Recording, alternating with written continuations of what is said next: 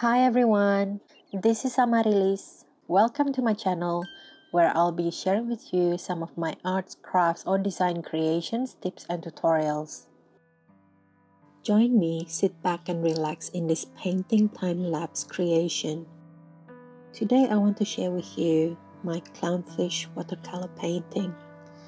I've always said to myself that I will stop painting again, but years after years will just go by. Without realizing, more than 20 years went by. So today I told myself, this madness has to stop. I need to pick up the brush and just do it. Stop hesitating, stop worrying, and just do it. And so I did.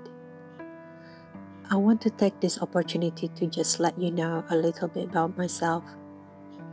I love arts, crafts, and design. I've been thinking a lot about what I want to do with my life, about what will fulfill me in this lifetime. It's not easy to find the answer, but I know that whenever I'm creating and designing, that's when I feel happy. It may still take me a while to figure things out fully, but step by step, that's what I'm going to do.